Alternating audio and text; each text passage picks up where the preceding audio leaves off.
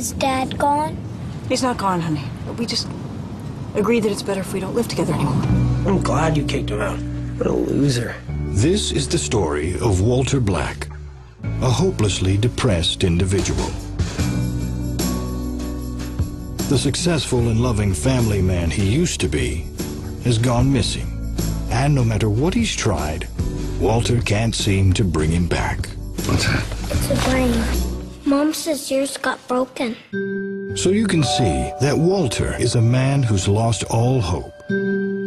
But he's about to find his voice. How dare you act like such a bitch! I'm sick. Blow me, bitch! Who are you?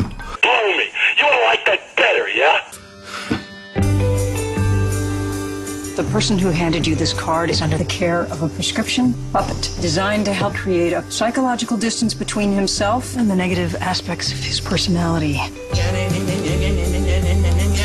This is a joke, right? I deserve to be blown! I'm not talking to you, nutjob. I'm talking to mom. How dare you! How fucking dare you! I deserve to be blown first! You wanted the number of my therapist? A beaver?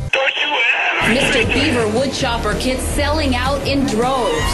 I've been very patient, but I want you, not him. It's over now! Fuck you!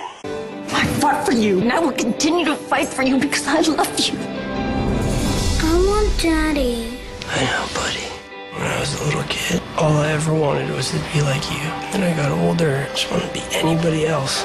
And now, where do